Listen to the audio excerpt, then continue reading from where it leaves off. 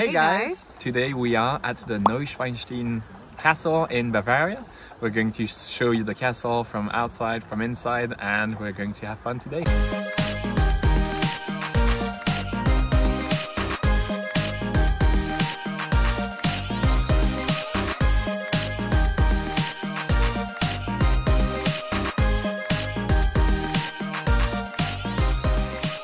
Hey guys, thanks for coming back to our channel. In this video, we're going outside of Switzerland into Germany. In just about a three hour drive from Zurich, you can be at this beautiful castle in Neuschwanstein, so in Bavaria in Germany. If this looks familiar to you, this was Walt Disney's inspiration when creating the Cinderella Castle. This is a 19th century castle commissioned by Ludwig II, so pretty recent as far as European castles go. We visited in January, but you can see here footage from the spring and summer. It is beautiful all year long, so you really can't go wrong. So stay tuned. We're going to show you what to do, how to get there, how to get a ticket, and more.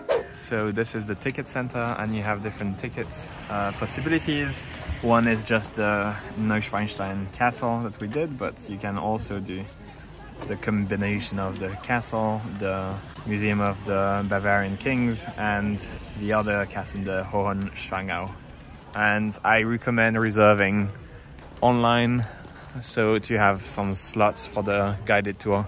All right, so once you have your ticket to actually get from Schwangau, which is where you'll either get there by public transportation or by car, you could park at Schwangau to actually get to the castle.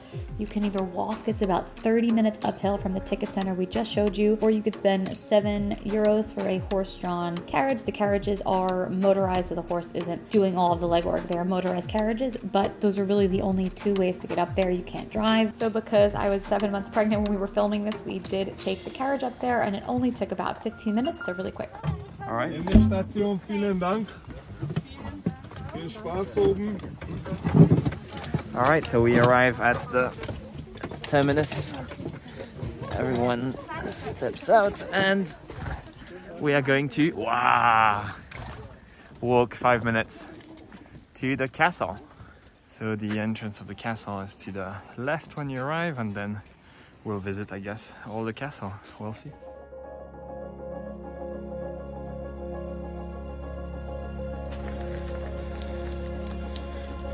And the entrance.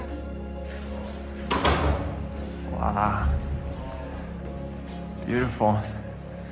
So you're here, this is the entrance, and we're waiting for our guided tour in here. So after you enter, this is where you will enter into the castle itself. So you need to buy tickets online or in the information center, not here. And it'll tell you when your number and time is called and then you can scan your way through. And they are not joking about the time you gotta be here. So be here on time.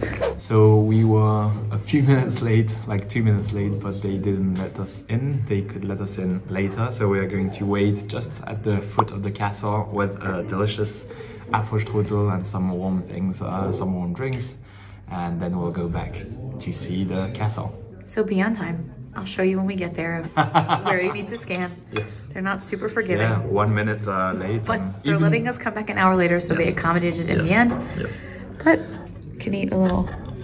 exactly. Bon appetit. So when you arrive, you have to scan your tickets there on time, uh, maybe before, and ask exactly when to scan it. Um, and then you have the castle. So once you enter the castle, in 90% of the rooms, you are not allowed to film or take any photos, and you will be with the tour guide the entire time, so you really can't get around this. So I found a few clips and photos from the internet just to give you an idea of what it looks like. There are 16 finished rooms that you can visit, so it is really beautiful, and we definitely recommend getting a tour of the inside, not just the grounds. And hopefully, this amalgamation of photos and videos gives you a little taste of what you can expect to experience inside.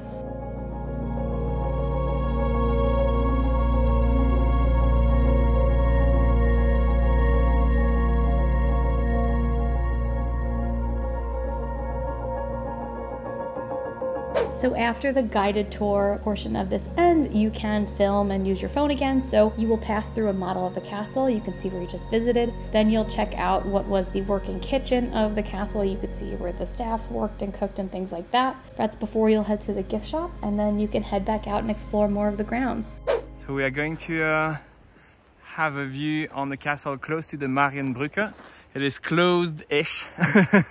it's definitely icy, but we're going to go on a little hike, probably 10 minutes, and have try to have a better view on the castle. So we are five, seven minutes into our little walk. It's a little steep, but it's fine. And uh, you just have such a beautiful view on the lake there and also on the other castle and the other lakes on the, the Alps. So beautiful. So Louis is trying to access an icy path that might be closed in the winter. We'll see if he gets any footage. If he does, I'll put it in here and I'll show you. So I'm just hanging out. Um, there's like outdoor place to eat and drink and I just got a bratwurst. So I'm gonna hang out, enjoy the view of the castle and then see what other kind of pictures and stuff we can get. So we arrive here. The goal is just to have a little view. We'll see if we can get this view from there. So there is a dangerous kind of place, especially when it's when it's snowy. Otherwise, when it's not snowing and when it's open, probably in the summer, you have that bridge that actually gives you an amazing view. We'll show the view, but uh, in the winter, maybe just stop at the first stop and if you are if you don't want to take any risks. so we were by the castle, we went up here, we are now here. You can go see the castle from the bridge in the summer or not uh, in January at least. There are there is a possibility to to climb, but it's very steep and there is a cliff, so careful about this. But uh, you can have a nice view. I will show you just uh, the picture I could take. Uh, Alexis didn't come with me, but uh, yeah, amazing castle. So we are walking down. It was good to go up with uh, the carriage or maybe the bus if you have the chance to have the bus, but it's very easy to walk down. It might be easy also to walk up, but uh, it was, we didn't know if it was icy or not, but definitely fine. So we are done with our way down. We are back in the village. You can also see the Hohenschwangau uh, castle and the Museum of the Kings of Bavaria by the lake.